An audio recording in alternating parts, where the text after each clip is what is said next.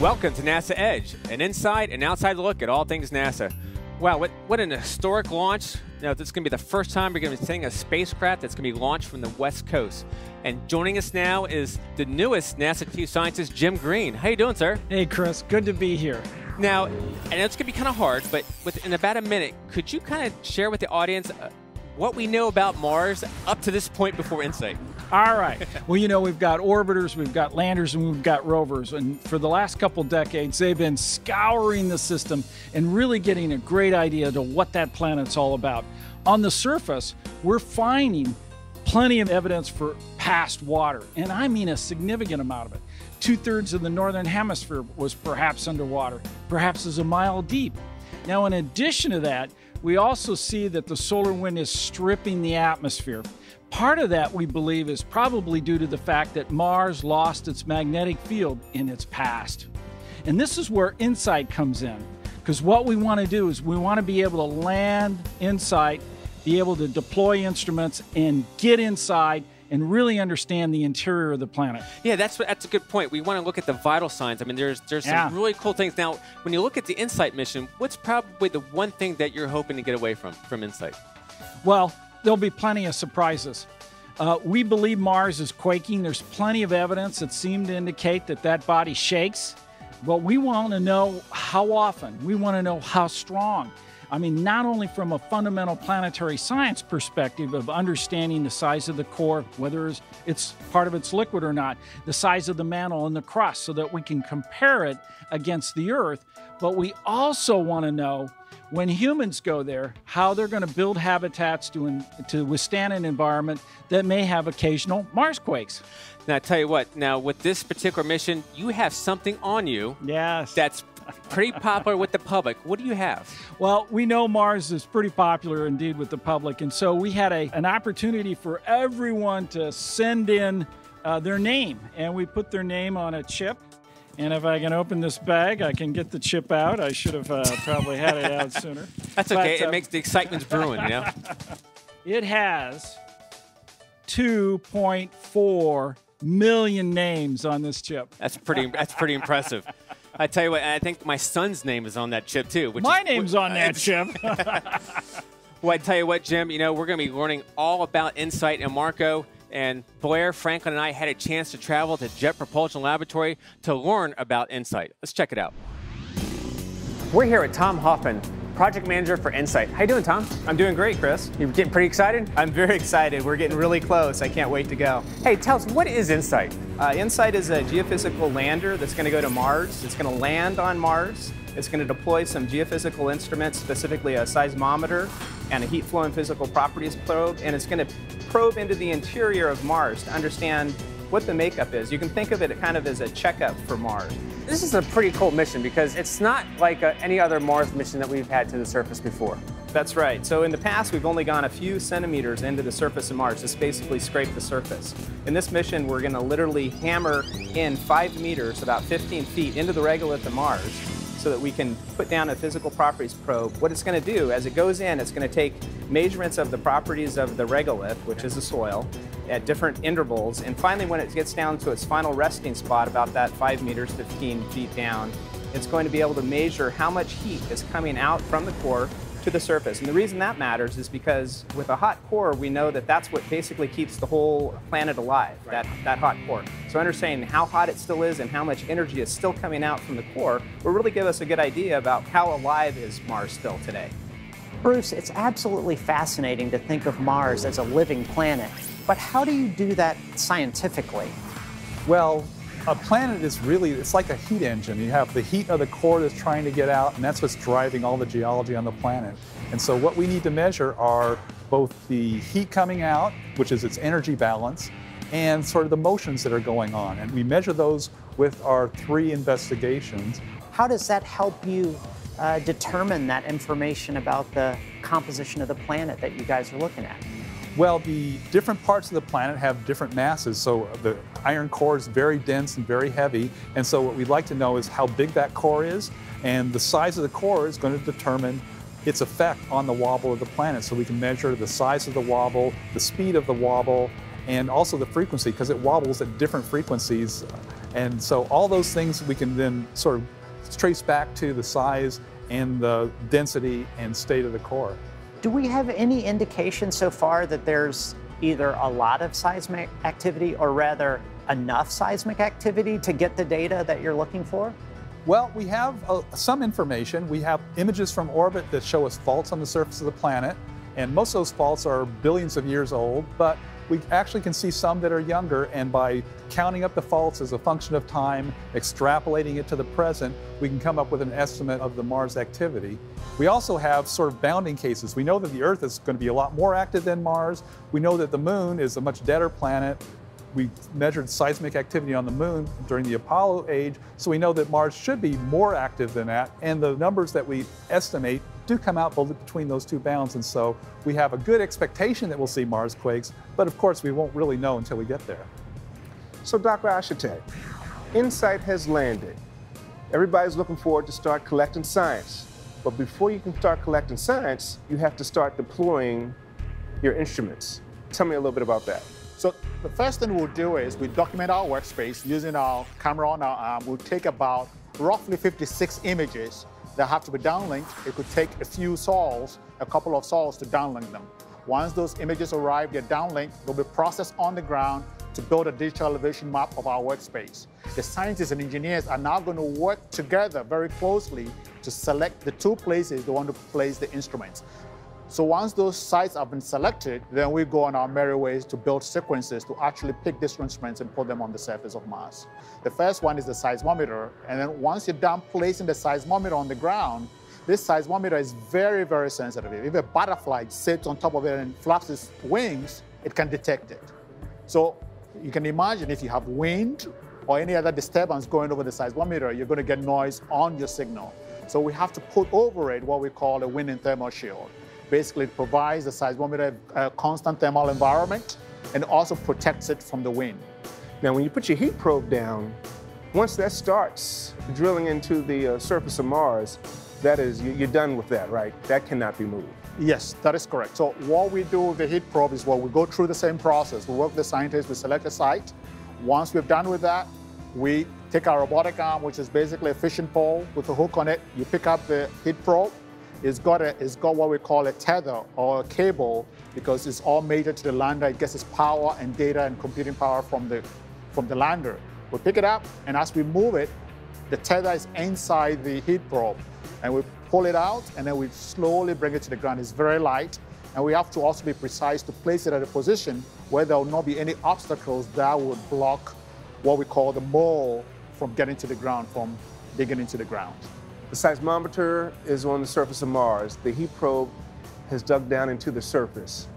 What if you find out that the center of, of Mars is solid, that it isn't molten, it isn't hot? What does that tell you? It tells us we've got some good science, right? Because whether it's molten, whether it's solid or liquid, it's the right answer. So that means we have the right answer, we have the better model for Mars. So it's a win-win. Joining us now is Sue Smrekar, who is the Deputy Principal Investigator for InSight. Now, Sue, one of the questions that I have, I'm super interested in the whole seismic component to this mission because I got to be honest, I, I, never really thought of Mars quakes before, but I'm wondering what is the current sort of seismic activity on Mars? What do we know and what do we expect to know? Mm-hmm. Yeah, well, there's actually several ways that we have estimated the number of quakes. Um, probably the most straightforward one is uh, from small impacts. You know, the atmosphere of Mars is one one hundredth the density of Earth, so very small things that you know would burn up in Earth's atmosphere actually hit the ground and create impact craters that generate seismic waves. And uh, because we have such you know great resolution from our orbiters, we've actually been able to count the number of impacts hitting the surface above a certain size over the last 10 or 20 years. And in fact, what we see are these uh, dark streaks where the dust is blown away off the surface. So that brings us in to look at the smaller craters. We, you know, we see them in the low resolution, then we go to the high resolution. So that's quite a firm number. The interesting thing about InSight is we're actually, for the first time, going to dig under the surface. what are you going to get from digging down and getting all that data, and what's it going to tell us about the seismic activity? So uh, I'm super excited to get this heat flow data. I've, I've, been working for the last 20 years to, to get this data. Well, no, no wonder you're so nervous about five hours from launch. I, I, would be nervous too. Yeah, yeah, it's it's a, a thrill for yeah. sure. So we will get a measure of the heat coming out of the planet, and uh, that is a real indication of the energy that a planet has to drive geologic activity. You know, every every planet is an engine, and that drives um, all of the geologic activity, which contributes to what's going on in the atmosphere. So it's really the the fundamental measurement of how active and how much faulting we expect yeah. on a planet. Yeah. Well, it's interesting because Franklin actually was saying, well, what if we find that, you know, nothing's going on down there? That's still kind of a scientific result, right? Yeah, well, um, so there's actually two contributions to heat flow. There's cooling of the planet, and every planet cools. There's no getting around that. So there's going to be some heat coming out. And um, the other contribution is from radiogenic elements, uranium, thorium, potassium, that uh, decay over time. So those elements, as they decay to other isotopes, to other elements, it generates heat. And we, you know, we know that there are some uh, radiogenic elements, and we think the concentration is similar to the Earth. That's actually a big question that we want to answer. Is the concentration like the Earth? And so, you know, we have we have every reason to think that um, we will get heat coming out of the interior. It's almost impossible to have nothing. Right. So um, the question is how much. Yeah. Well, that's awesome. We're very excited about InSight. Thanks for being on the show. InSight isn't the only spacecraft traveling to Mars. It will be joined by the MarCO CubeSats. Franklin had a chance to sit down with Annie Marinan, systems engineer, to talk about the technologies being developed on MarCO. So, Annie, there are three new technologies that are going to be demonstrated on MarCO. Tell me what they are. So the three technologies that MarCO will be demonstrating are a propellant system that uses a fire extinguisher fluid to navigate MarCO around. There is a radio that is about the size of a softball that was designed at JPL to interface with the Deep Space Network. And there is an antenna, it's a deployable antenna that's completely flat and it can fold up but when it operates, it actually simulates a dish that gets a lot higher gain and allows us to send more data back to Earth. Now, tell me a little bit about this propulsion system, because you know I'm I'm thinking about the engines on a rocket when it takes off, that's not what's happening with MarCO. No, so the fluid inside the propellant tank is essentially what you would find in a fire extinguisher. So if, you, if you've seen the movie WALL-E, there's this scene where WALL-E flies around space using a fire extinguisher and it propels him all the way around. Right. That is essentially what MarCO, what MarCO is doing. The thrusters are much tinier, mm -hmm. but we actually nicknamed the spacecraft WALL-E and EVA because of that. So we have eight total thrusters on the spacecraft, and we're using them for two things. One is to do what we call trajectory correction maneuvers, which are basically course corrections. So as MarCO flies, we can control its trajectory fairly precisely. And there are thrusters that allow us to change the orientation of the MarCO satellite while it's in space. So basically, it's going to be kind of kicking out compressed air. Mm -hmm. Okay. Now, tell me about this radio. I, from what I understand, it's something new. Uh, it's built right here at JPL. Tell me a little bit more about that. Yeah, so the group at JPL designed this antenna specifically to operate with the Deep Space Network, and MarCO is going to be the first mission to fly this technology. So we've done a lot of compatibility testing with the Deep Space Network, and so we've shown that it's configured well and it will work, we just now need to fly it. Okay, and then and third is the dish. Mm -hmm. This trifold. This trifold antenna. Antenna. Yeah, it's called a passive phased array. And so one of the reasons why it's such a cool technology is when you launch a CubeSat, or any satellite in general, volume is a hot commodity. And so in a CubeSat especially, because the whole satellite has to fit into a box, the more box-like all of your components are, the better. And so this antenna folds into a volume about this high when it folds down, but it opens up. It's fairly large, and it simulates a much larger dish that would otherwise have to be curved and would be much harder to actually stow in that volume. So it could enable a lot of really cool communications technologies in the future. Tell me about what your role will be with the mission as they fly to Mars. I will be operating one of the MarCO spacecraft, and for this mission, what that means is we'll be sitting on a console computer sending commands and receiving data from the spacecraft. So before every chance we get to talk to it, we get about one chance per day. We'll have a set list of commands and scripts that we want the satellite to execute. And so we'll upload those via the Deep Space Network all remotely.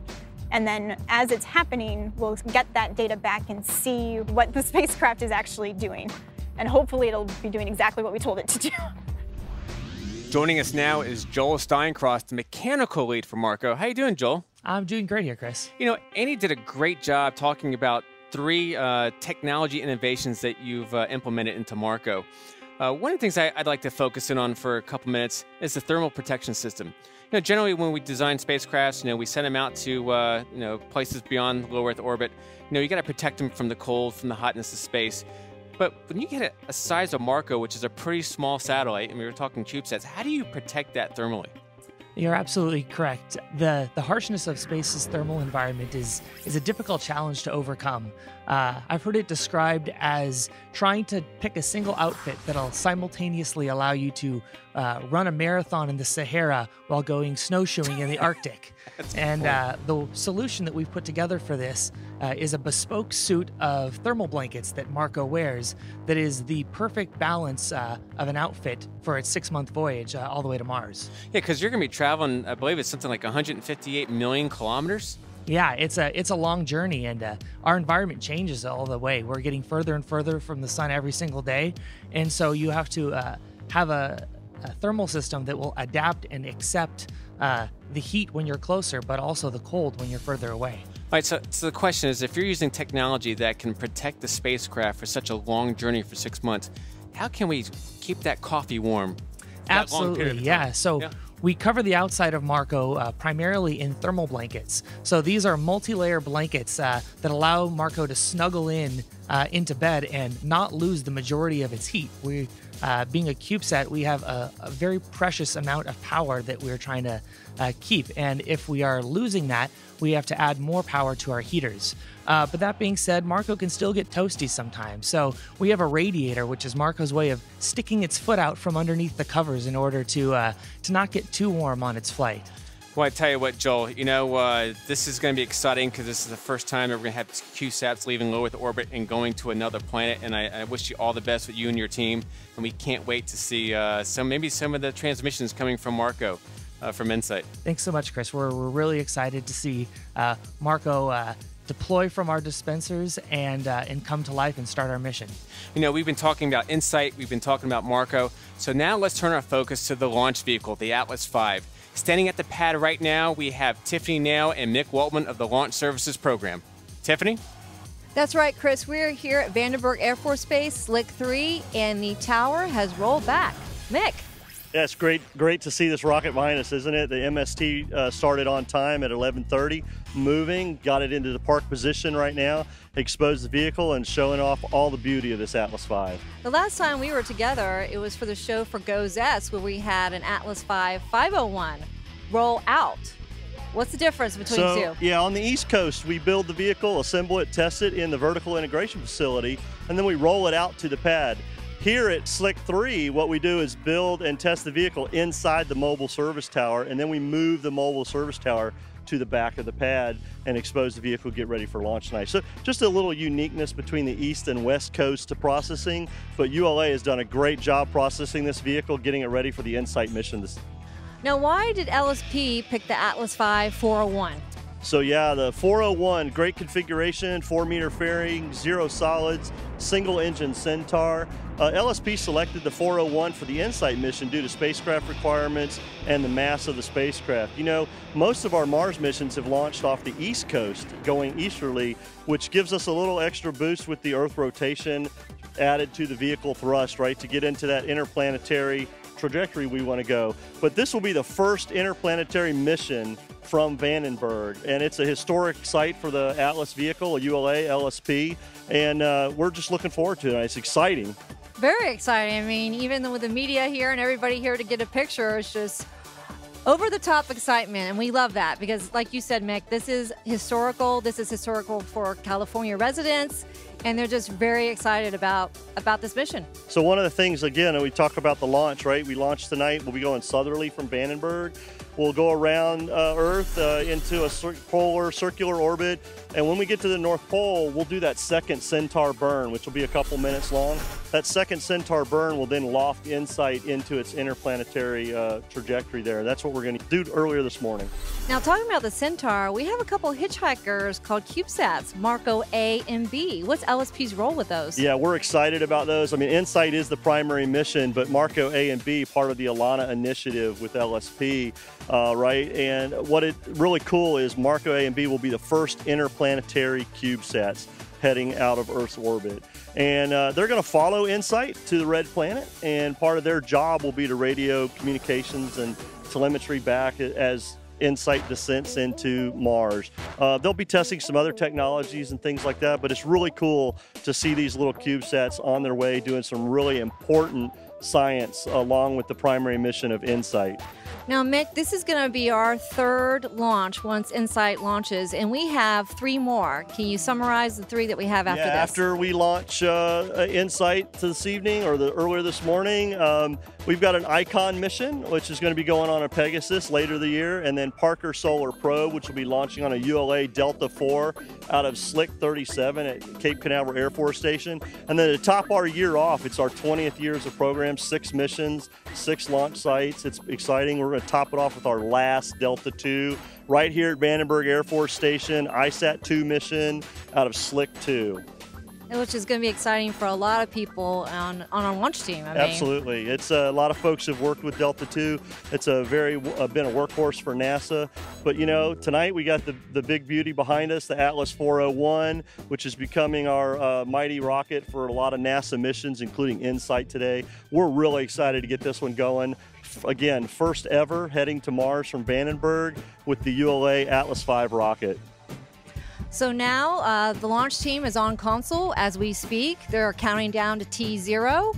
Let's get this rocket off the ground. On InSight's on its way to Mars along with MarCO. Six, five, four, three, two, zero. Liftoff of the Atlas V, launching the first interplanetary mission from the West Coast, and NASA's InSight, the first outer space robotic explorer to study the interior of Mars.